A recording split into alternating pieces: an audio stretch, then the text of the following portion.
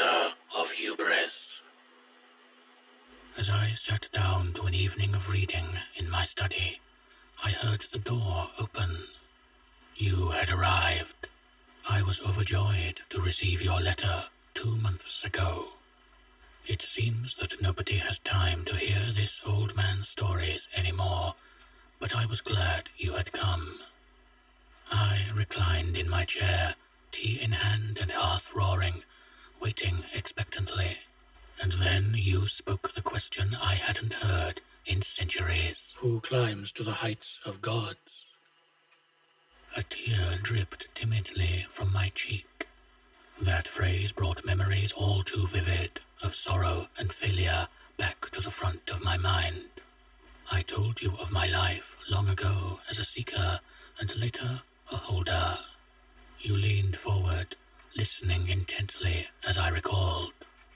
I was once just like you, a young upstart who had heard the legends and wanted to see for myself what objects I could obtain. I set to protect the world from that terrible secret, the key to its undoing. I had a naive sense of duty back then. So it was not coincidence that brought me to an old mansion, not very different from this one we now sit in. I asked the butler to see me in and guide me to him, asking the right questions, always alert to the danger and horror that lurked about each corner.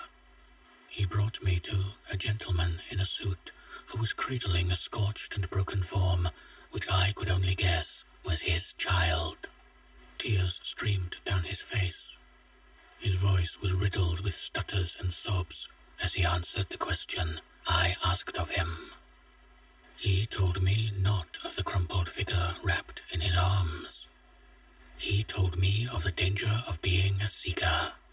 He told me of his special role among holders to stop any one seeker from accumulating too many objects. You see, He sputtered. the quest to hide these pieces of doom is not for the ambitious.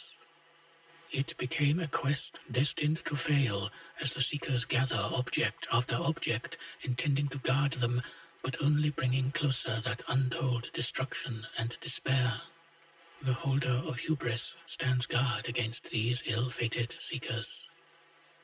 I didn't realize back then just how cruel the irony of hubris was. I requested that he hand over his burden that I may take his place and keep such dangerous seekers under watch. He presented a pair of charred wings, hot to the touch and black as the night. With an expression of grief which I did not understand, he said, Every angel falls. and with that he picked up the burnt remains and walked out.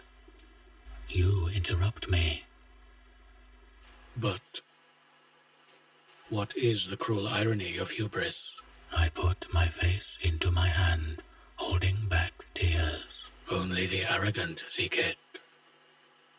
Only the arrogant receive it. And it is a solemn duty of futility.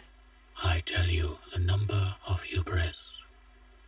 And for a moment, you share in the sorrow that only a father who buries his son can know.